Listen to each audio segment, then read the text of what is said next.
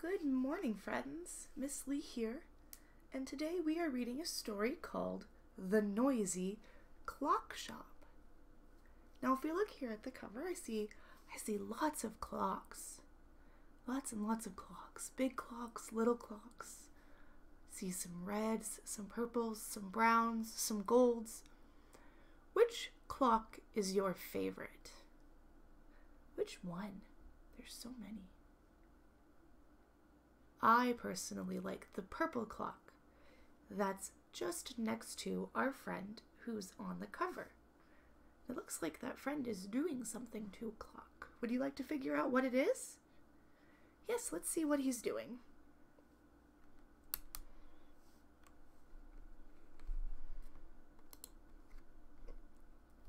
Oh, the Noisy Clock Shop. And it looks like here we have some more information. The story is by Jean Horton Berg and the pictures are by Art Seiden. Now, the story is by our friend Jean Horton Berg. That means that she is the author. And our pictures, Art Seiden is our illustrator. That means they drew all the beautiful pictures we're going to see. And it looks like here we have a store called Mr. Winky Watches and Clocks. Same day service. That means when he brings something in, he can try to get it out on the same day, and he should be able to. Mr. Winky mended clocks. He took care of shabby clocks. Ooh, what do you think shabby means? Shabby clocks. With dirty faces. Poor old clocks with broken hands. And lazy clocks that wouldn't run. So shabby Sounds like it might not be a good thing. It might be a, a yucky kind of thing. After he fixed a clock, Mr. Winky wound it. Then he put it back on the shelf to wait for its owner to come and take it home. Before we had digital clocks, which are the clocks with the numbers that we can read, you probably see this on cell phones or on the computers or tablets. There were clocks that ran on gears, little circle pieces of metal that stuck together. You had to wind it up so that they could run, and once they didn't work anymore, you might need to wind it up some more. Mr. Winky's clock shop was a cheerful place. The clocks on the shelves kept up a constant chatter. Tickety tick, tickety tick, said the little ones. Can you make that noise? Tickety tick, tickety tick, tickety tick. Talk, talk, talk, talk, said the big ones. Talk, talk, talk, talk. The Swiss clock sang a tinkly little song. And the cuckoo popped out of the cuckoo clock and said, Cuckoo, cuckoo, cuckoo. Do you guys see the cuckoo clock? I see the cuckoo clock. There's a silly little bird coming out of the cuckoo clock. The grandfather clock tried to chime first, but the cuckoo clock always beat him. One day, Mr. Winky was sitting at his workbench, enjoying all the tick, tick, ticks, and the tock, tock, tocks, and the tinglings, and the ding dongs, and the cuckoo, and the bong ding dong. When the door of the shop flew open. Hello, Mr. Glum, said Mr. Winky. What can I do for you? Oh my, said Mr. Glum, sticking his fingers in his ears. How can you stand this awful noise? I was going to visit with you for a while, but I can't hear myself think. Goodbye, Mr. Winky. Goodbye. Mr. Glum pulled his hat over his ears and hurried out, slamming the door behind him. Uh oh. What happened? How do you think Mr. Glum is feeling when he walks into the store? How do you think he feels when he decides to leave? What about Mr. Winky? How do you think Mr. Winky is going to feel now that Mr. Glum has left the store and is not feeling very happy.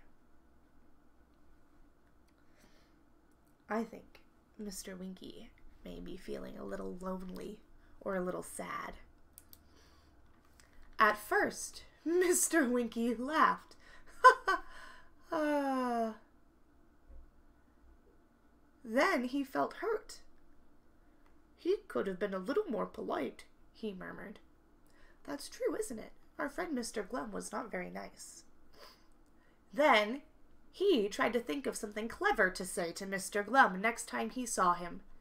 He tried and he tried, but he couldn't think of a single thing.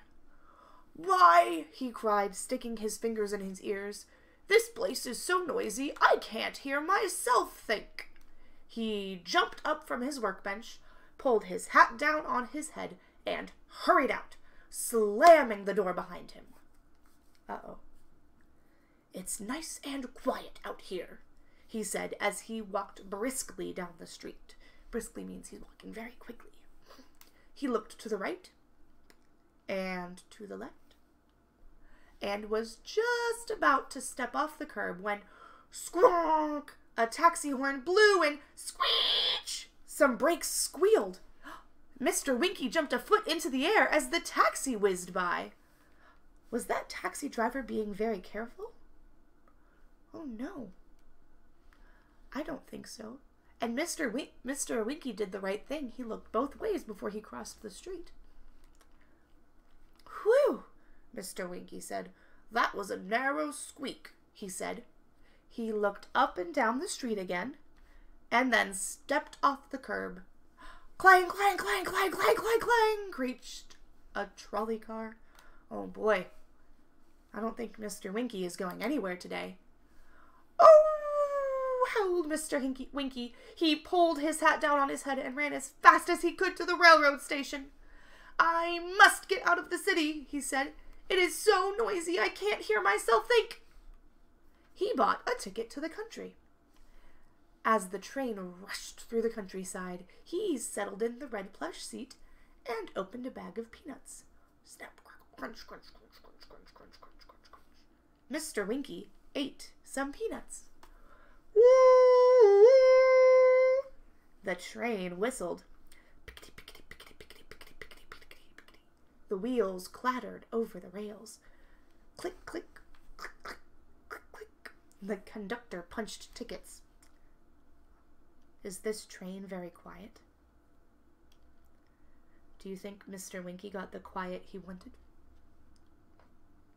Let's see. Oh my, said Mr. Winky, sticking his fingers in his ears. I can't stand this noise. I can't hear myself think. He put the rest of the peanuts into his pocket and got off the train at the next stop. Were you right? Did he like the noise? As Mr. Winky walked slowly down a dusty country lane, he saw a little red farmhouse. Come in, come in, said the farmer. You're just in time for dinner. Mr. Winky went out to the pump to wash his hands. Squeak! Squeak! Oh, that's not a good noise.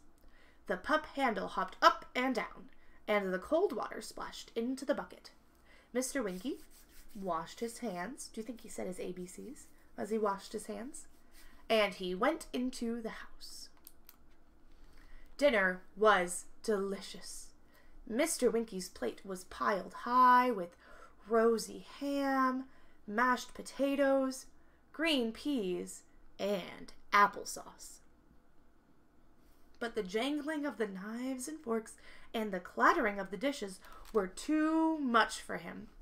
I can't stand this noise, he said, sticking his fingers in his ears. Oh my, I can't hear myself think. He finished his dinner quickly, said thank you to the farmer, and hurried upstairs to bed. I'll take a walk in the wild woods, he said the next morning. Surely it will be quiet there. Do you think it was quiet? What kinds of noises do you think he might hear out in the wild woods? What do you think he may hear? I don't know. Let's see. Ah, Mr. Winky said, this is more like it. At last I can hear myself think. He set his hat on top of his head and walked briskly through the trees. Clattered a red squirrel. Mr. Winky walked a little faster. Caw! Caw! screamed a raggedy black crow, swooping down through the shadows. Mr. Winky began to run. Leaves crackled and branches snapped as he ran. Ouch! howled Mr. Winky when he bumped into a tree. Ow! howled Mr. Winky when he tripped over an old stump. And, oh my!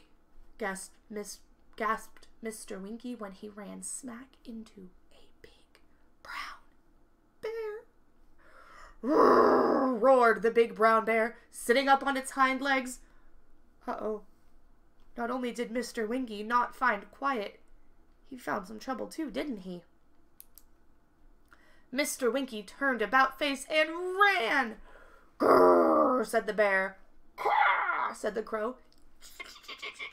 said the red squirrel. I can't stand this noise, muttered Mr. Winky, and, sticking his fingers in his ears, he hurried out of the wild woods.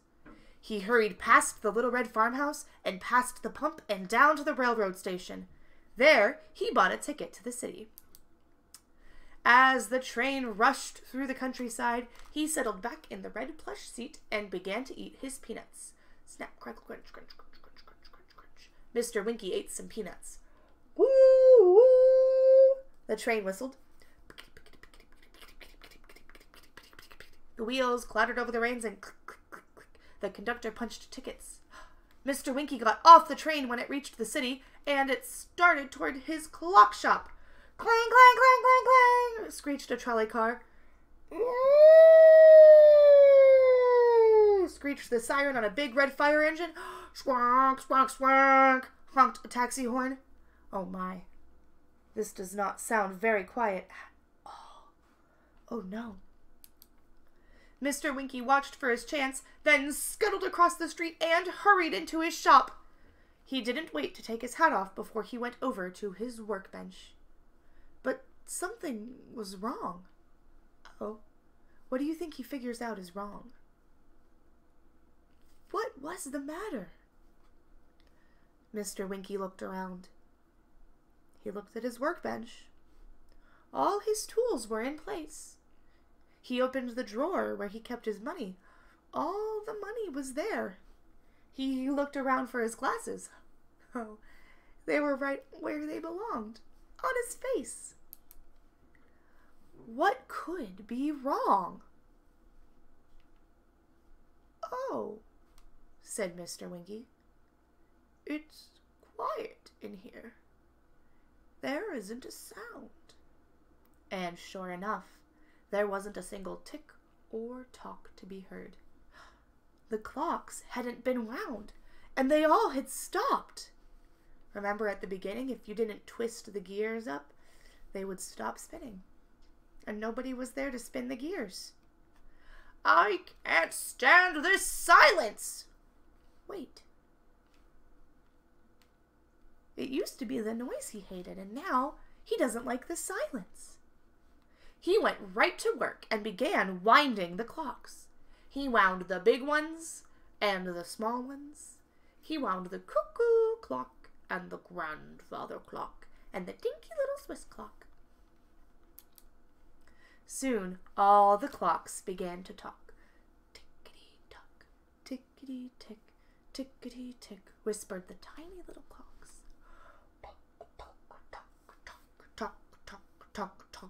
So the big ones. Cuckoo, cuckoo, cuckoo, whistled the cuckoo clock. The grandfather clock chimed a cheery bong, bong, bong. And the Swiss clock never stopped singing its tiny tinkly song. Now this is the way. I like it, Mr. Winky said, holding a clock close to his ear. I dearly love a cheerful shop, and who wants to hear himself think anyhow? The end. So just because the friend wasn't happy with how his clock sounded, Mr. Winky liked it and realized he missed it a lot when he didn't have it. Thank you so much for stopping in and reading with me. I hope you'll come back and read with me again tomorrow. I'll see you all then. Goodbye!